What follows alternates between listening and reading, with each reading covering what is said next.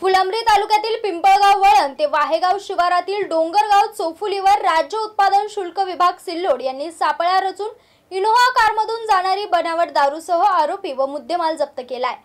राज्य उत्पादन शुल्क विभागीय उपायुक्त प्रदीप पवार औरंगाबाद अधीक्षक सुधाकर कदम यांच्या मार्गदर्शनाखाली दिनांक चोवीस डिसेंबर रोजी सिल्लोड विभागाचे निरीक्षक एस एम पतंगे सहाय्यक निरीक्षक ए जे कुरेशी यांना खबऱ्यामार्फत मिळालेल्या माहितीवरून मोठ्या प्रमाणात इनोव्हा कारमधून बनावट दारू विक्रीसाठी जात असल्याची माहिती मिळाल्यावरून पिंपळगाव वळण ते पिशोर रोडवरील डोगरगाव जवळ सापळा रचला. इनोव्हा क्रमांक एम एच बारा के आय तीन नऊ सहा सहा अडवून आली.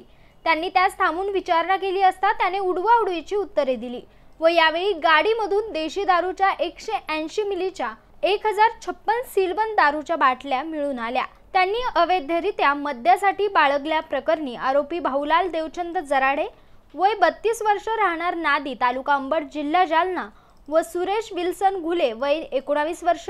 अबड यांच्यासह एकूण दहा लाख सदुसष्ट हजार ब्याण्णव रुपयांचा मुद्देमाल जप्त करण्यात आला असून ए एस चव्हाण दुय्यम निरीक्षक A A Mahindrakar S R Wagchore P D Puri Anand Shedarkar G N Nagve Gunjale Dhale यांच्यासह आदींनी ही कारवाई केली. Mahavir Jaiswal M C N news Phulambri.